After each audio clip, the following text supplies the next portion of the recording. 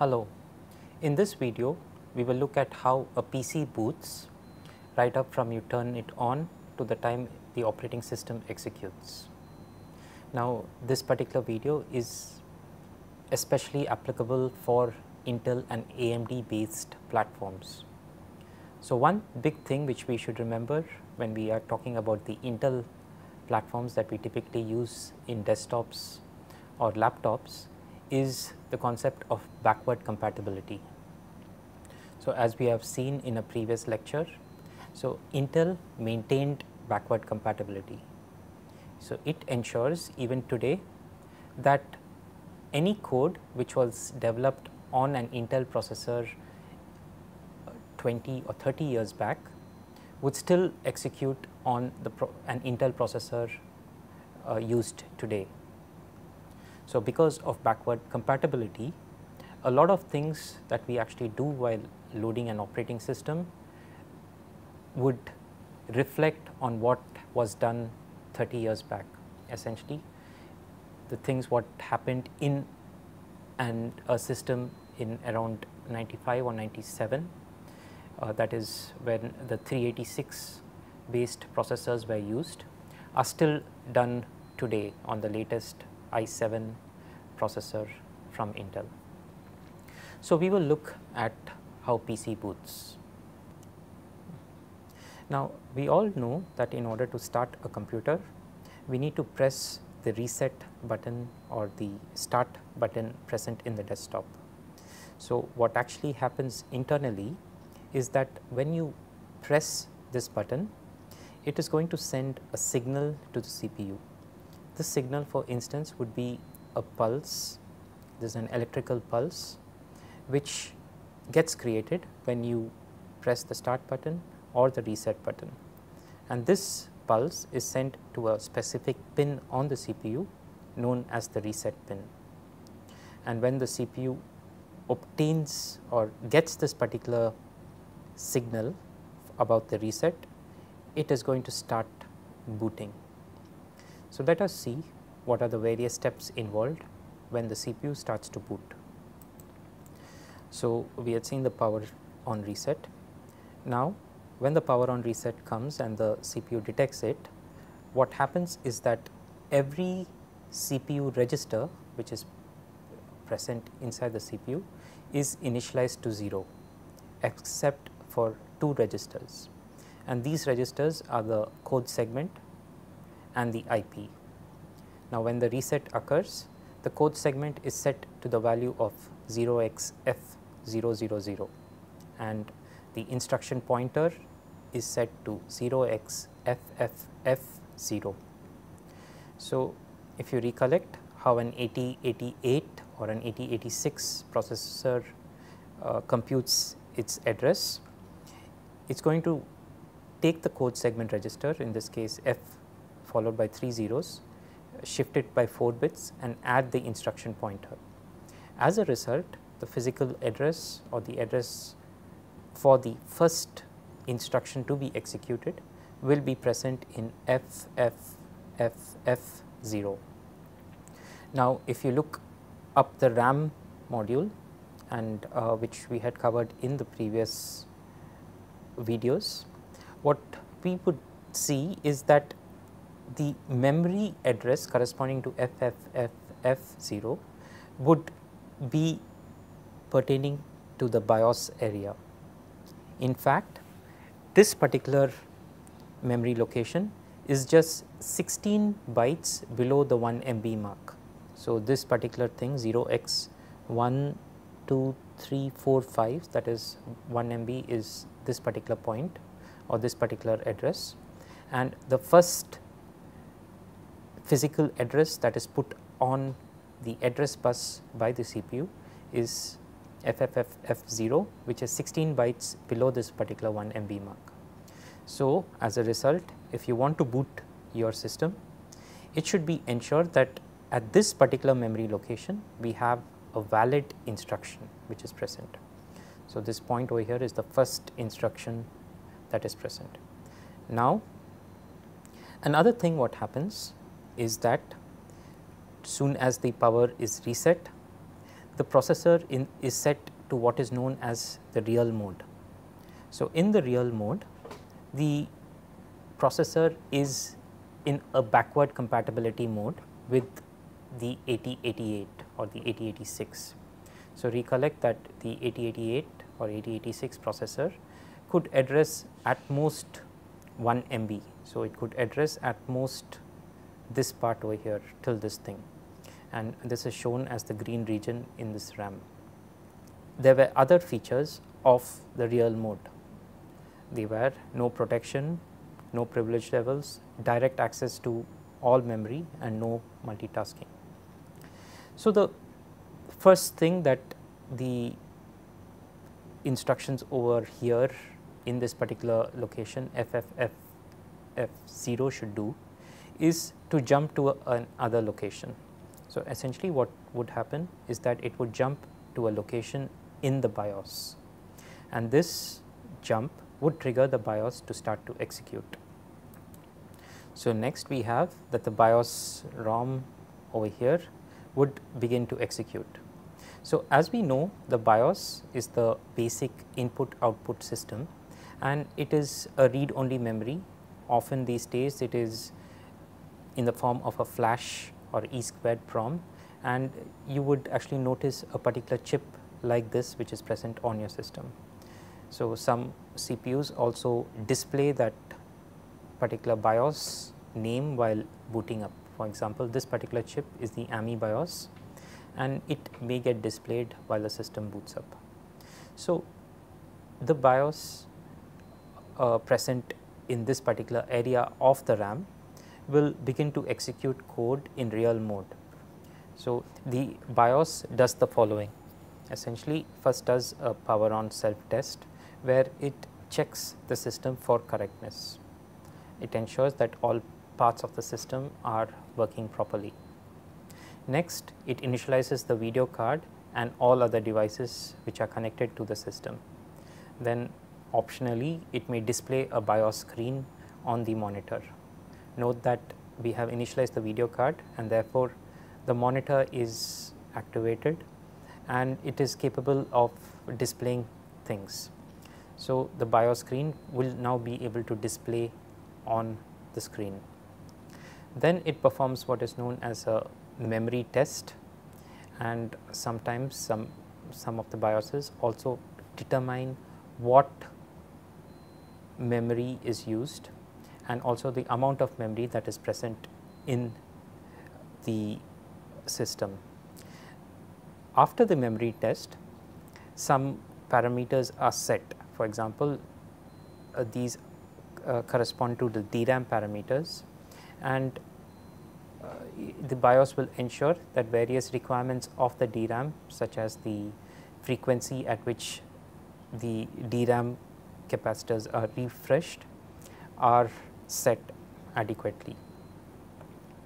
Then plug and play devices are configured in the sense that all devices which are plug and play are going to be queried and the BIOS will then determine how much memory is required for each of these devices and these devices are then allocated memory in the system.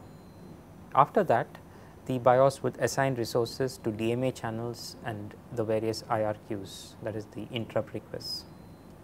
From our perspective what is important is the next step where the BIOS identifies the boot device that is the device which most likely would hold the operating system. It would read the sector 0 from that boot device into the memory location 7C00. So, note that 7C00 is a memory location in the low memory region of the RAM. So, what it would do is it would copy the sector 0 which is typically of 512 bytes from the boot de device which is typically the hard disk into the memory location 7C00. So, at the location 7C00 we would have 512 bytes of code which would help in booting the operating system. The BIOS then causes a jump to 0x7C00.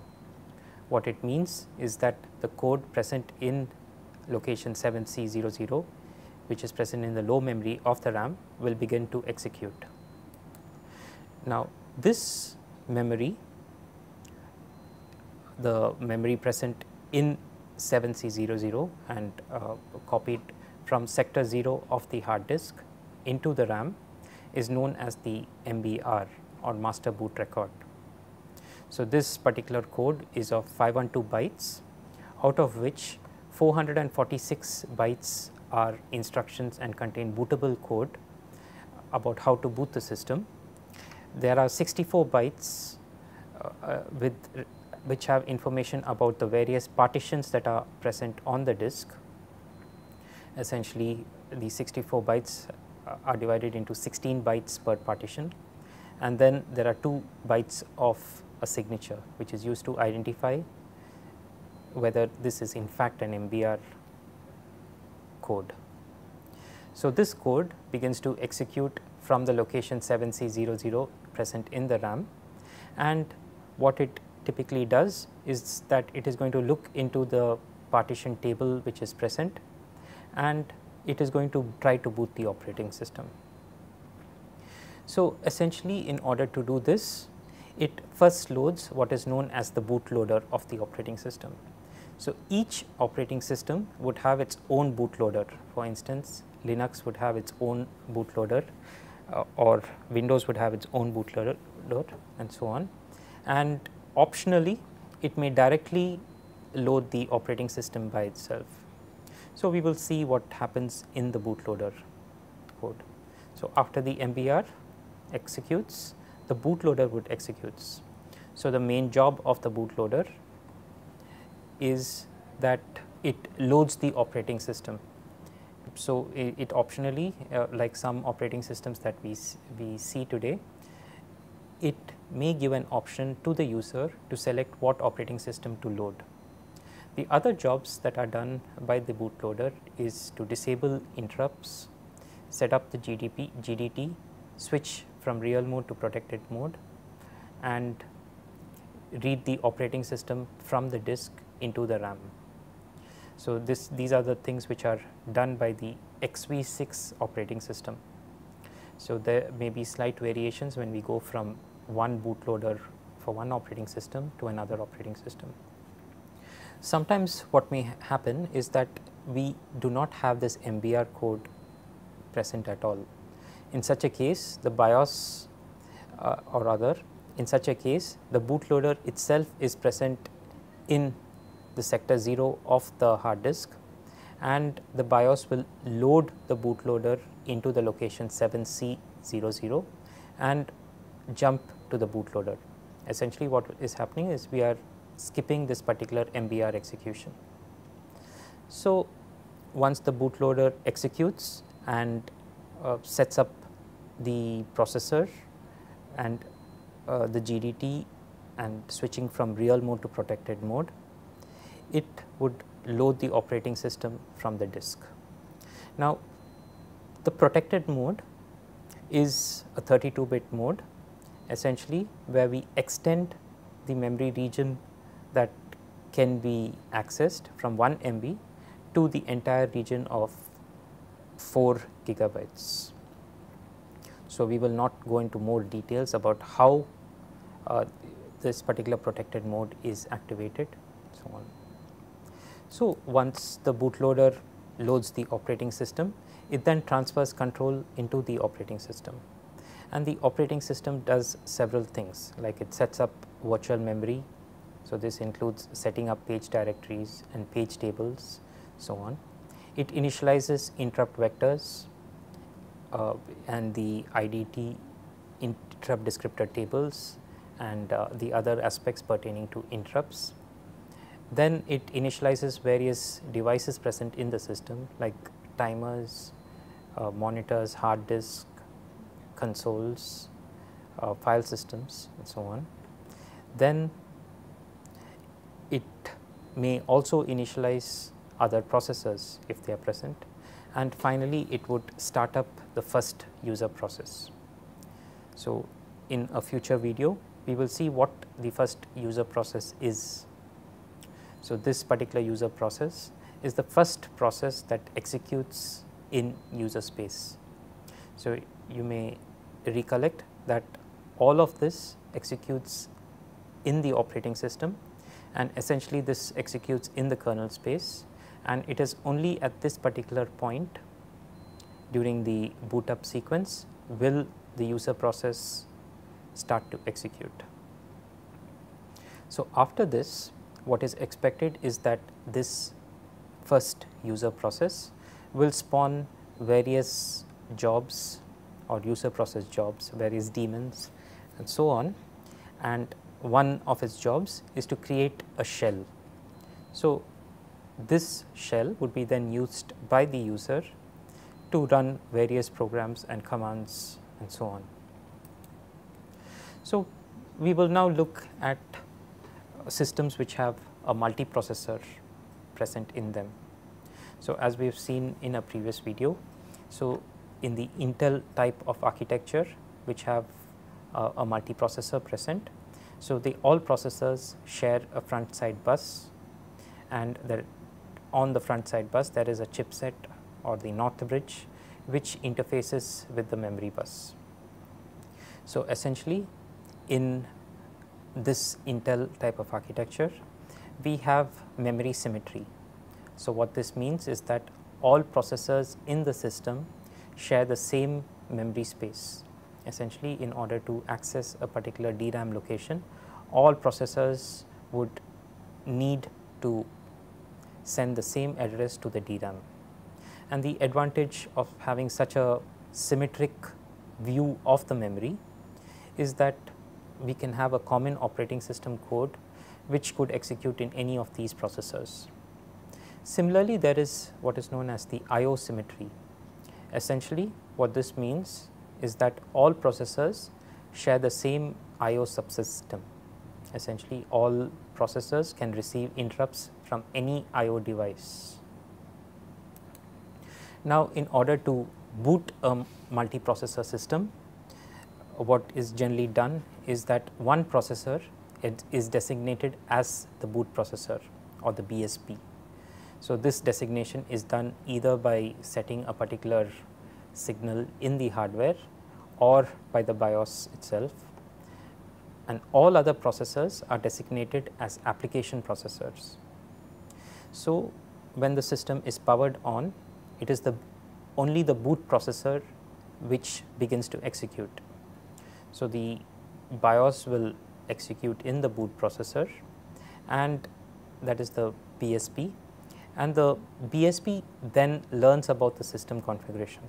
It determines how many other APs are there that is how many other application processors are present in the system and then it triggers the booting of the application processor. So, after it does all the initialization all the required initialization it would trigger the boot of the application processors. So, this triggering of the boot is done by something known as the startup IPI or the startup interprocessor interrupt. So, this is a signal from the BSP that is the boot processor to the application processor. So, when the application processors see this signal, they will begin to boot and of course, they identify that they are not the main BSP, but rather the application processor. So, they skip various aspects such as initializing the various devices present in the system and so on. In this video, we had seen how the CPU boots right from the time the power on reset is provided to the processor to the point when the operating system begins to execute and spawns the first user process. In the later part of this course, we would see various aspects about how the operating system manages memory and manages different processes which are running in the system. Thank you.